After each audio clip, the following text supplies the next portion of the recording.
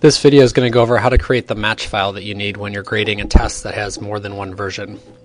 So I'm going to go into the test grading folder and just use an example test that's in here.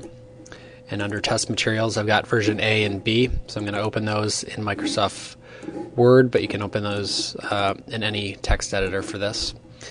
And then I'm going to go to the test grading folder and click on Remark Test Matcher.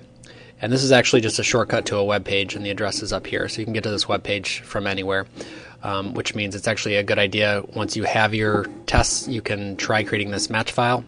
And that's a good check to make sure that all the questions from version A are in, question, in version B and so on. So what I'm going to do is go into Microsoft Word, and for version A, I'm going to select all, so that's Control A. Um, I'm going to copy that, so I've right clicked and copying.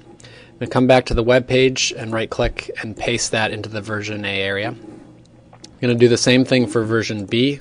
So that's select all, copy, come back here and paste it into version B.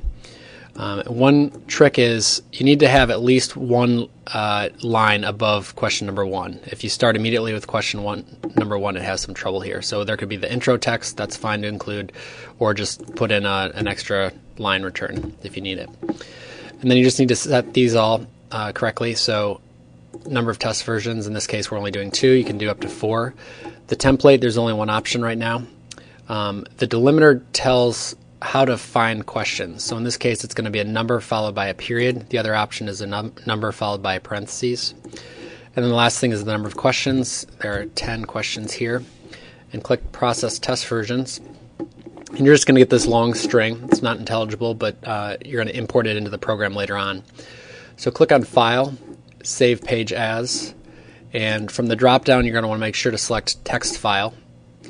And I'm going to go back to the desktop, test grading, example uh, tests. So just store this file with my test. And I'm just going to call this uh, match. And it's going to be a text file. You can name it anything, the name's not important. Click Save and I can close out of the web page now and go on to the next video, which is grading multiple versions.